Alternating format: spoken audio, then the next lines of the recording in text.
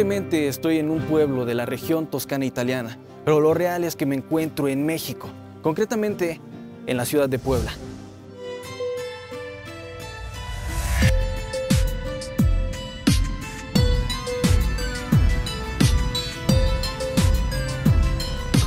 Para crear este sitio se basaron en un pueblo de la Toscana italiana de Italia. Este lugar se llama Valquirico d'Orcia, allá en Italia. Y aquí decidieron ponerle el mismo nombre, Valquirico, aunque muchas personas le dicen tal y como se escribe, es decir, Valquirico.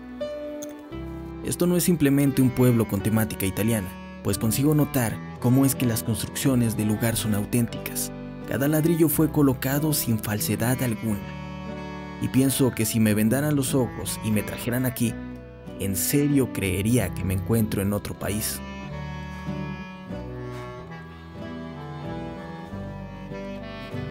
Esto está cerrado. Hace relativamente poco, aquí en esta zona había una serie de terrenos y de hecho por aquí había una especie de ex hacienda de la revolución o algo de ese estilo. Esto hasta que un grupo de accionistas que soñaban con tener su propio pedazo de Italia aquí en México, se dieron a la tarea de crear este complejo residencial. La sorpresa para todos fue que llamó bastante la atención por los turistas.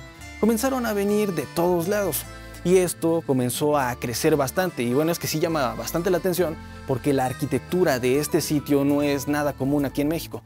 En sitios como Venecia o Italia es lo más común del mundo, pero aquí termina llamando bastante la atención. Es por ello que comenzaron a crear una serie de negocios por esta parte para hacer que este pequeño pueblo subsistiera únicamente del turismo. Digo, las personas que tienen sus casas aquí obviamente deben tener dinero. Bueno, esto es bastante, bastante costoso. Una casa común y corriente en Toscana Pistoia tiene un costo de alrededor de 320 mil euros, una cantidad demasiado alta para los latinoamericanos. Un ejemplo muy claro de lo que decía es que, bueno, de verdad parece que estoy en Venecia o un lugar de ese tipo, pero realmente estoy en un falso, en un falso Italia. Y eso es lo que llama muchísimo la atención y resulta alucinante porque de verdad te transportas, tú te transportas.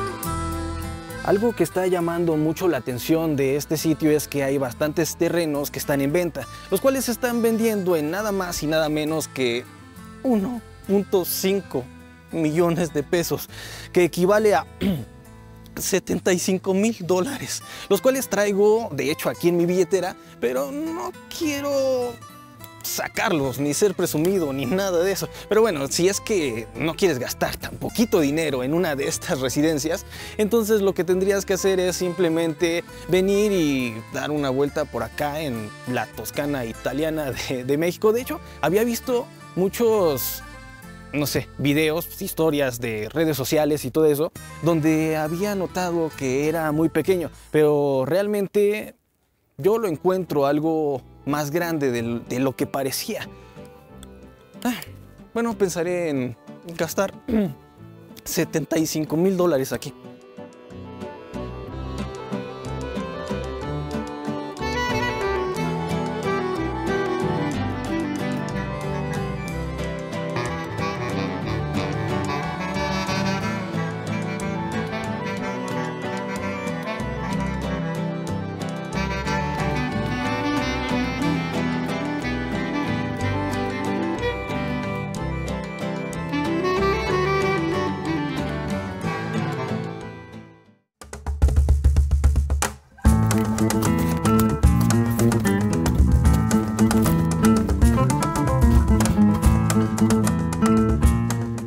Personas que están afirmando que todo esto se hizo gracias a dinero ilícito.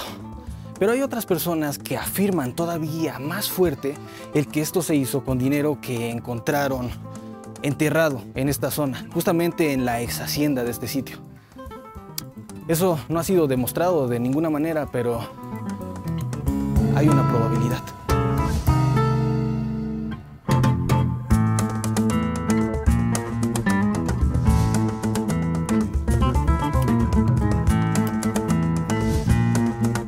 Si es que pueda llegar a haber dinero aquí enterrado, yo creo que ya lo deben haber sacado porque están haciendo bastantes construcciones aquí a todos lados.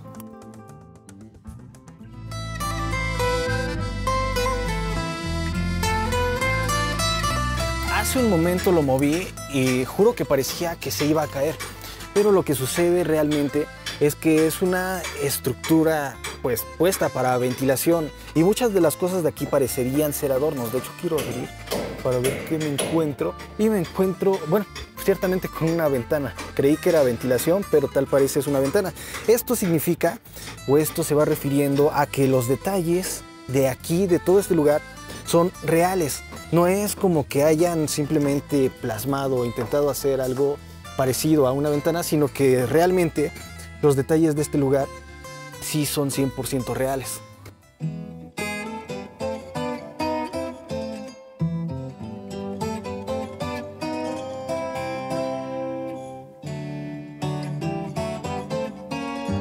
Finalmente Valquirico tiene un pequeño misterio por resolver. Sin embargo, lo que más termina llamando la atención de este lugar es que estás dentro de una pequeña ciudad italiana en el mismísimo México. Scivola, scivola, come la pioggia scivola, come un bambino rotola, sai farlo pure tu. Prendila e stringila, è un'emozione candida.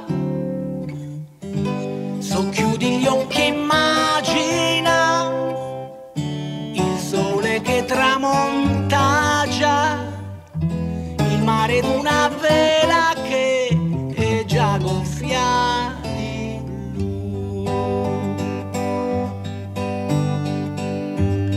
Lascia che evapori, se un'emozione frigida, la sigaretta spegnila e riporta gli occhi in